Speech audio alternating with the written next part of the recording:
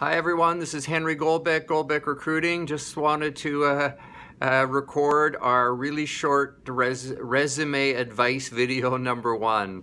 So the first and most important thing of any resume is it should tell us really easily and quickly uh, who you worked for, in what industry, what you did, and what you accomplished.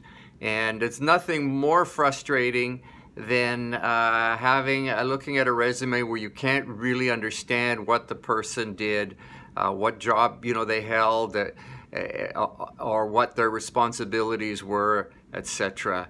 So that's the first thing. We want your resume to be clear and simple so that when we look at it, we'll decide, is it a possible fit for the positions we're trying to fill? If it is, then we'll look at it more closely and, and give you a call. If not, at least we'll know how to categorize you and put you in our database so we can look at it for future opportunities. Thanks so much. Have a great day.